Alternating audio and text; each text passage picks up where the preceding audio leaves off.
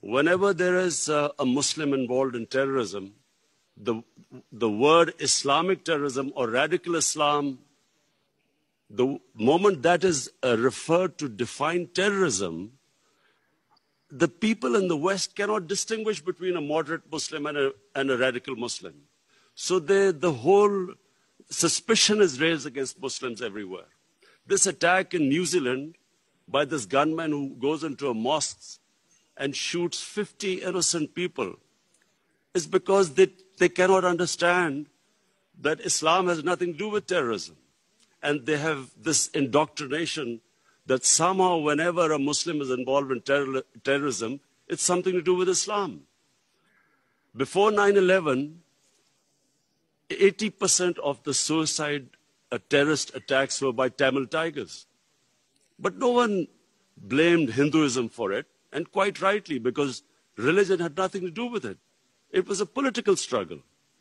When the Japanese in the Second World War indulged in kamikaze uh, uh, uh, pilots who blew themselves up on American ships, but no one blamed the Japanese religion for it. So, uh, uh, this is my second point. I feel that um, A, it causes Islamophobia because we, the heads of Muslim states, have not been able to explain to the West, not powerfully enough, that Islam has nothing to do with terrorism. Political struggles have everything to do with terrorism. And, and the second disadvantage which the Muslim world has as a result of this, I'm afraid, I'm afraid is that uh, Muslim freedom struggles or Muslim freedom political struggles are delegitimized when they are termed as uh, because of Islamic radicalism.